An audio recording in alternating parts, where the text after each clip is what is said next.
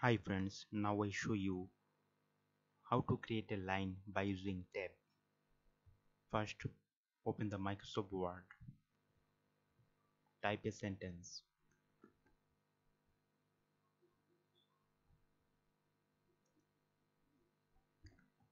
Now I want to create a line after number 1.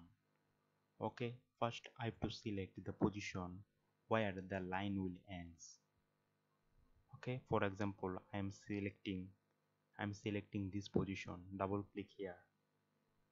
Okay? You see tab stop position.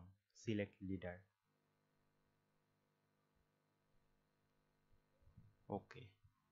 Now press tab button. Okay? This is the way to create a line by using tab button. Again go to second line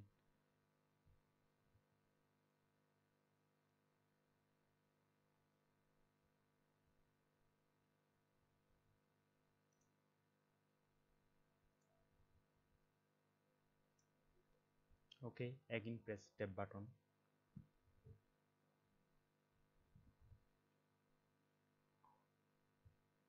Okay thank you very much for watching this video.